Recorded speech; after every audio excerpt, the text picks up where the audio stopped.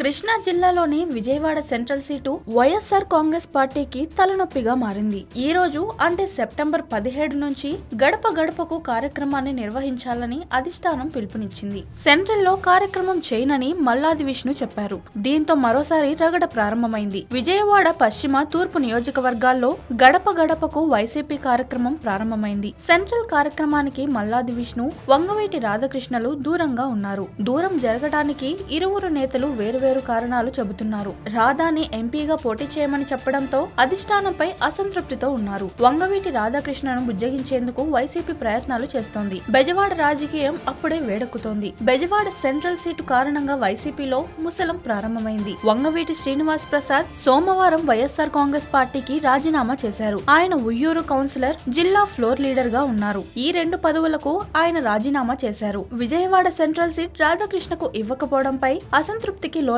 పార్టీకి రాజీనామా చేశారు. సెంట్రల్ టికెట్ విషయంలో పార్టీ అధినేత వైఎస్ జగన్మోహన్ రెడ్డి వైఖరిపై అసంతృప్తితోనే ఆయన రాజీనామా చేశారని అంతా చెబుతున్నారు. మరోవైపు తనకు సెంట్రల్ టికెట్ ఇవ్వకపోవడంతో వంగవీటి రాధాకృష్ణ తన కుటుంబ సభ్యులు అనుచరులు పార్టీ నేతలతో చర్చలు జరుపుతున్నారు. వంగవీటి రాధాకృష్ణను మచిలీపట్నం లోక్సభ నియోజకవర్గం నుంచి బరిలోకి దింపాలని వైసీపీ యోచిస్తోంది. అలాగే బ్రాహ్మణులకు రెండు టికెట్లు ఇవ్వాలని జగన్ చూస్తున్నారు. గుంటూరు జిల్లా బాపట్ల ఎమ్మెల్యే కోన రఘుపతి మళ్ళీ పోటీ చేయనున్నారు. విజయవాడ సెంట్రల్ను కూడా బ్రాహ్మణులకు ఇవ్వాలని యోచిస్తున్నారు. మల్లాది విష్ణుకు టికెట్ ఇస్తున్నట్లు సంకేతాలిచ్చారు. వంగవీటి రాధాకృష్ణ ఎంపీగా పోటీ చేసేందుకు ఆసక్తి లేకుంటే విజయవాడ తూర్పు నుంచి అసెంబ్లీకి పోటీ చేయించాలని వైసీపీ భావిస్తోందని తెలుస్తోంది. రెండు వేల నాలుగులో ఆయన తూర్పు నుంచి గెలిచారు. వంగవీటి మోహన్ రంగా ఆయన సతీమణి రత్నకుమారిలు కూడా ఇక్కడి నుంచి గెలిచారు. రెండు వేల తొమ్మిదిలో వంగవీటి రాధాకృష్ణ సెంట్రల్ నుంచి పోటీ చేసి ఓడిపోయారు. రెండు వేల పద్నాలుగులో తూర్పు నుంచి పోటీ చేసి ఓడిపోయారు